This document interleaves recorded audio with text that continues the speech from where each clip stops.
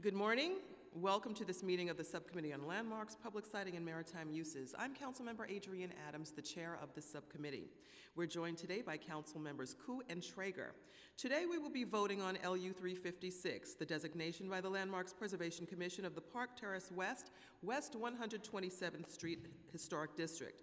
The historic district is located in the Inwood neighborhood of Manhattan. According to LPC's designation report, the Park Terrace West, West 217th Street Historic District consists of a picturesque enclave of 15 early 20th century Tudor and colonial revival style homes.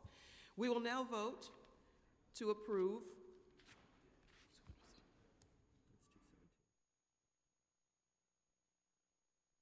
We will now vote to approve LU 356 for the designation of the Park Terrace West 217th Street Historic District in Council District 10, Community District 12. Council, please call the roll.